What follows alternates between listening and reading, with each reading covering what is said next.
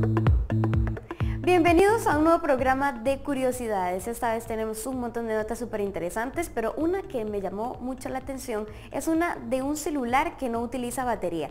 Pero esa la vamos a ver más adelante. Ahora vamos a empezar en Washington, D.C., que es el hogar de nueve especies de murciélagos que resulta son vitales para el ecosistema. Entonces, un grupo de biólogos busca determinar si los murciélagos capitalinos padecen del síndrome de la nariz blanca que los está aniquilando.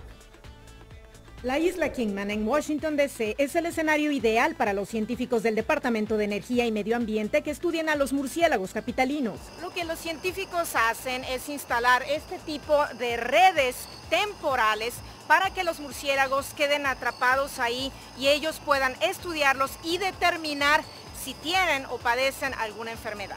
Con un subsidio del Servicio de Pesca y Vida Silvestre, los biólogos se enfocan en determinar si los mamíferos nocturnos padecen el llamado síndrome de nariz blanca. Desde 2007, la enfermedad aún sin cura ha matado a más de 6 millones de murciélagos en Norteamérica. Los murciélagos grandes marrones viven alrededor de 20 años. Típicamente tienen un cachorro al año cuando se reproducen. Esa es otra razón por la que el síndrome de nariz blanca ha sido tan perjudicial. No tienen muchos bebés. El síndrome no es contagioso para los seres humanos, pero las esporas del hongo que lo causa pueden pueden ser inadvertidamente transportadas por personas que entran a las cuevas. En esas condiciones oscuras y húmedas se diseminan rápidamente y provocan comportamientos erráticos en los quirópteros, explica la bióloga Lindsay Roba. Se despiertan más a menudo de lo que deberían cuando hibernan y al hacerlo no pueden hallar alimentos y lamentablemente mueren. Y la muerte de estos importantes polinizadores tiene consecuencias directas en la calidad de vida de los humanos, agrega Roba. Sin los murciélagos vemos un incremento de mosquitos y otras plagas que están diezmando nuestras fuentes de alimentos y creo que con el paso del tiempo ello empeorará si no hallamos la forma de proteger a las especies que aún quedan. Algunas teorías apuntan a que ciertas especies de murciélagos ya no están volviendo a las cuevas para evitar contaminarse y su presencia en las urbes hace cada vez más importante que los humanos sepan qué hacer si los ven. No deben tocarlo ni molestarlo, no quiero que nadie sea mordido en el 1% de posibilidad de que ese murciélago tenga rabia. Deben llamar a los funcionarios de control de animales para que vengan y retiren a los murciélagos por ellos. Verónica Valderas Iglesias, Voz de América, Washington. Nuestro planeta tiene un problema de residuos. Cada año por lo menos 200 millones de toneladas de aguas negras no son tratadas. Eso constituye una crisis ambiental y sanitaria, pero una empresa emprendedora en Kenia está convirtiendo todos esos residuos en combustible. Esta es solo una muestra minúscula de los millones de toneladas de aguas negras que dice Naciones Unidas quedan sin procesar cada año. Pero en una compañía en Kenia, después de haber sido secadas, carbonizadas y mezcladas con acerrín y melaza, cobran nueva vida como nos dice John Irungu de Nakura Water and Sanitation Company. La carbonización es básicamente un proceso por el cual aumentamos el contenido de carbono de sus materiales. En este caso estamos utilizando el horno de tambor por el cual se alimenta el lodo. El tambor tiene agujeros en la parte inferior.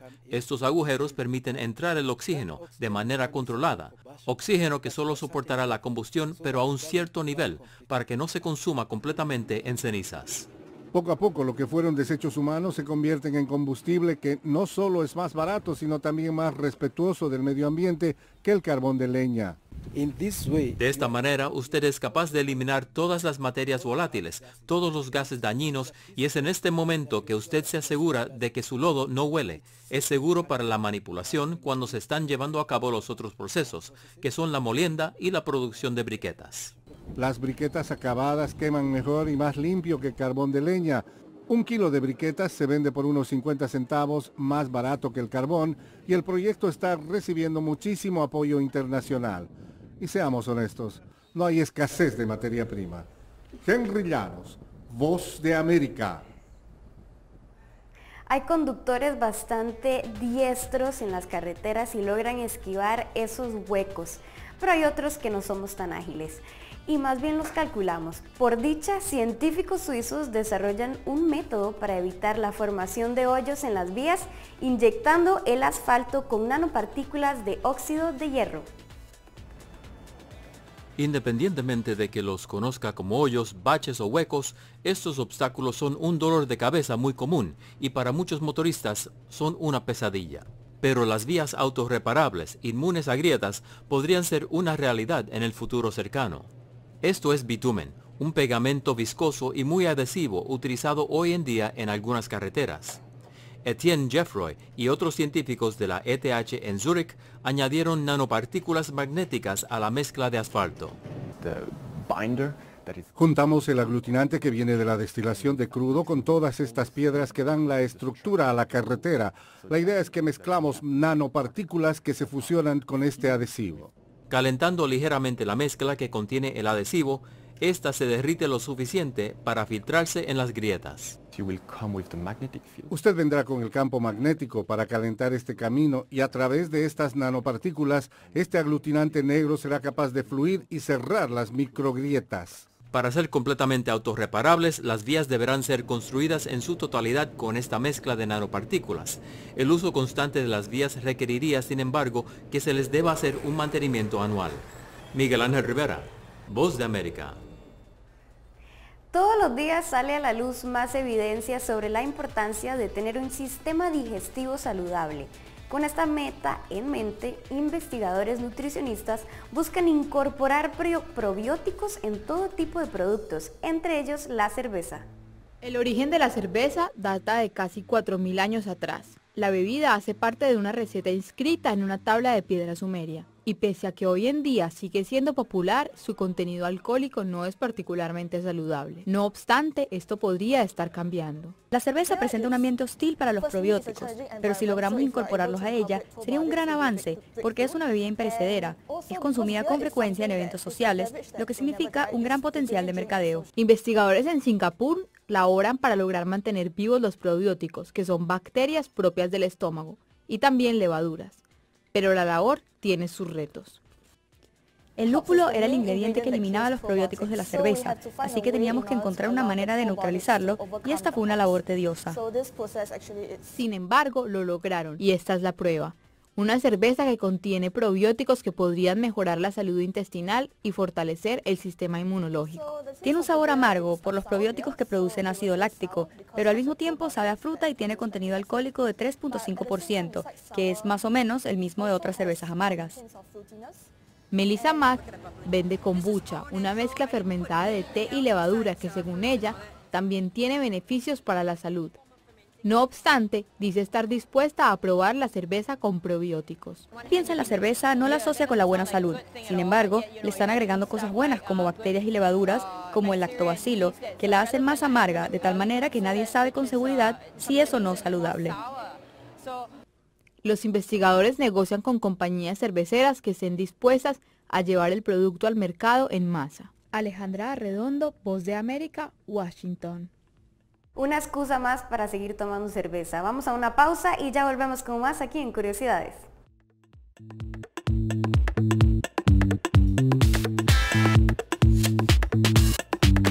Seguimos con más.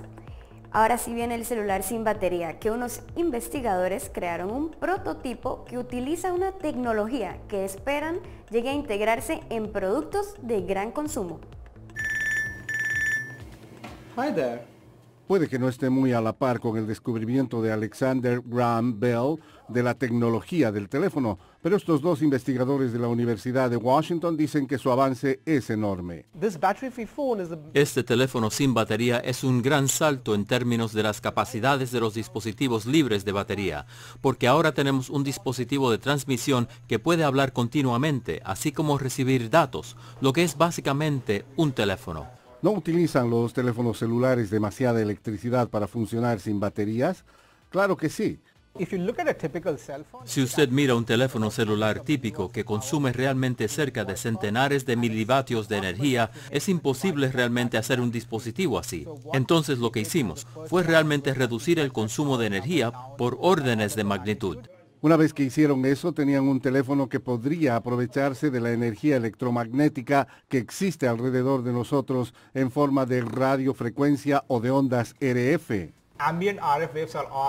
Ondas ambientales RF están alrededor de nosotros. Por ejemplo, su estación FM emite ondas de radio, sus estaciones de AM lo hacen, sus estaciones de TV, sus torres de teléfonos móviles, todas transmiten ondas RF. El teléfono literalmente se alimenta de toda esta energía ambiental. En el futuro, todos los teléfonos inteligentes vendrán con un modo sin batería, donde por lo menos puede hacer una llamada de voz cuando la batería está muerta. Henry Llanos, Voz de América.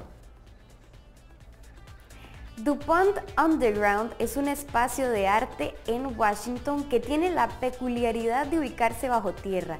Entonces vamos a ver cómo se ve esta arte debajo de la tierra. Cuando uno camina por las calles de Washington DC es difícil imaginar que existe una galería subterránea, pero aquí está y se las vamos a mostrar. Este no es un espacio artístico común y corriente, nos comentaba Lucrecia Laudi, una socia fundadora. Exacto. Este es un espacio que en realidad es diferente por las características físicas, básicamente. Y aparte por el concepto que nosotros hemos desarrollado, un espacio para debate, para crear cultura y para debatir acerca de la cultura y que eso incluye la arquitectura y la ciudad. Y vamos a preguntarle ahora al arquitecto y fundador de esta galería, Julian Hunt, ¿cómo se puede tener un espacio así bajo la tierra? Pues originalmente fue una estación de tranvía, entonces hubo un espacio con mucha gente por periodos eh, cortos, pero fue, tenía una capacidad de contener mucha gente. El primer problema con espacios debajo de la tierra son dos cosas, son de la humedad y la segunda es la luz. ¿Y qué requisitos les pone la ciudad para tener un espacio así? Desde el punto de vista del gobierno local, es la seguridad pública. Por ejemplo, fuego. Por ejemplo, ventilación. En este espacio de la galería se llevan a cabo algunas eh, representaciones de comedia, pero también hay otros planes para el futuro, ¿es así? Sí, tenemos un gran programa y tendremos uno aún más expandido en las artes. Estamos en el proceso de realizar una campaña para recaudar 150 mil dólares que nos ayudarán a colocar nueva realidad aumentada en la porción frontal del espacio de exhibición, aumentar nuestras muestras de cine. Y si llega a operar día y noche, comunidades de diferentes esferas estarán invitadas a congregarse para celebrar la danza, el teatro y las artes en general. Verónica Valderas Iglesias, Voz de América, Washington. Desde la irrupción de los sistemas digitales, las industrias del cine y la música han derivado hacia las plataformas de contenido en línea como Netflix o Spotify. ¿Será que la industria de los videojuegos puede seguir el mismo camino? Un emprendimiento finés está apostando por ello a través de una plataforma celular con más de 200 videojuegos en línea por pedido y sin necesidad de descarga. En Gamescom, la convención anual de videojuegos de la ciudad de Colonia, este año se destaca la innovadora compañía Hatch. Su cofundador, Vesa Julia, explica que desde Helsinki, capital de Finlandia, están siguiendo la iniciativa de otras industrias para introducir un servicio celular de videojuegos sin descarga. La música, cine y series de televisión han derivado hacia la transmisión en línea. Es una forma más cómoda de acceder al entretenimiento. Aún en fase de prueba, la aplicación cuenta con 80 desarrolladores y editores, entre ellos Ubisoft, creador de Assassin's Creed. En junio, Microsoft también anunció un servicio de suscripción para videojuegos. Por 9.99 dólares al mes, los usuarios de Xbox Games Pass pueden jugar y descargar más de 100 juegos. Aaron Greensberg de Microsoft Xbox explica el porqué de esta nueva tendencia. Creo que en el futuro habrá fanáticos del videojuego que comprarán los productos y el resto de consumidores querrán acceder a una librería de contenido con unos 100 títulos por un módico precio. Sin embargo, no todos están convencidos. Tamer Hussein del sitio web GameSpot opina que los jugadores precisan de un producto físico. Crear un modelo de suscripción es una buena idea, pero creo que es demasiado pronto para convertirse en la principal forma de consumir juegos. Hay una larga trayectoria histórica de consumidores vinculados a la compra física de un videojuego. El futuro está por ver, mientras los consumidores encargados de resolver la trayectoria de su propio consumo disfrutan de ambas posibilidades durante la convención de Colonia. Cristina Quecedo Smith, Voz de América. Una de las quejas más comunes que tenemos siempre es que no hay tiempo para relajarse. Entonces, crearon una nueva aplicación para teléfonos inteligentes que promete resolver estos problemas, ayudando a los usuarios a practicar una antigua forma china de meditación curativa mientras están en movimiento. El ingeniero de software chino Peng Cheng está utilizando la aplicación de meditación Sui en su teléfono inteligente para ayudarlo a aliviar el estrés.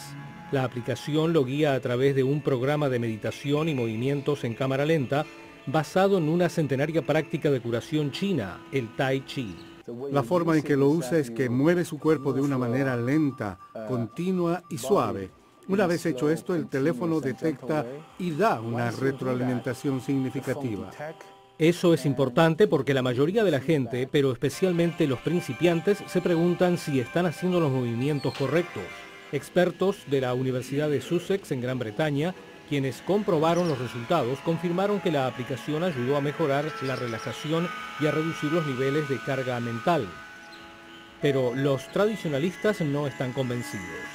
Creo que aprender a meditar con una aplicación es como aprender a nadar con un video de YouTube.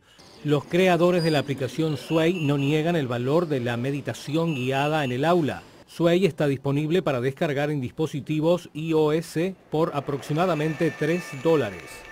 Luis Alberto Facal, Voz de América. Habría que probarlo para ver si funciona. Vamos a una pausa comercial y ya venimos con más.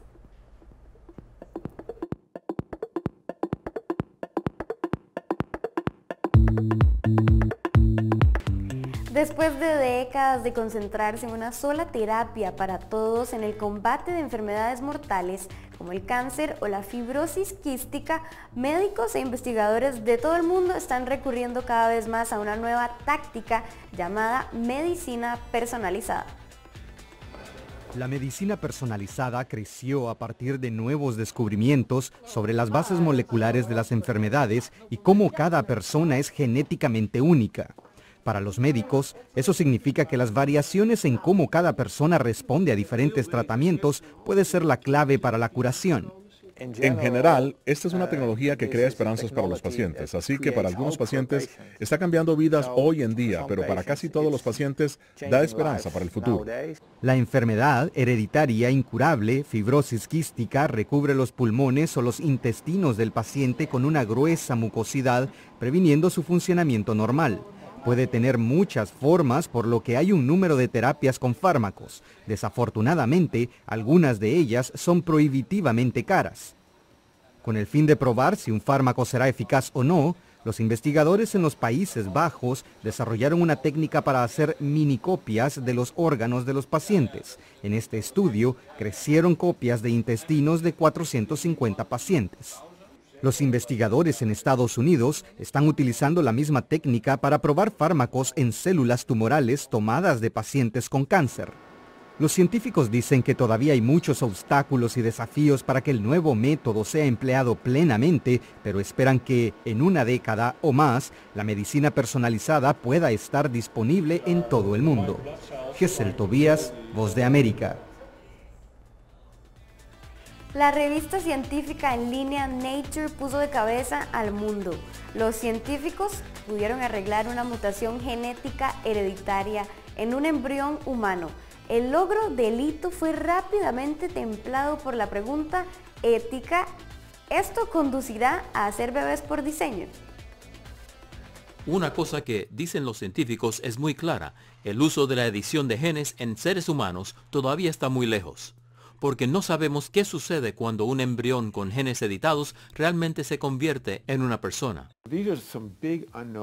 Estas son algunas de las grandes incógnitas que llevará años entender y no estamos realmente listos para que esto se lance. La ética, las incógnitas son realmente grandes interrogantes. Después del fracaso de intentos similares en China, científicos de la Universidad de Ciencia y Salud de Oregón usaron un enfoque diferente, tratando de reparar un gen defectuoso en un embrión humano en el momento de la fertilización.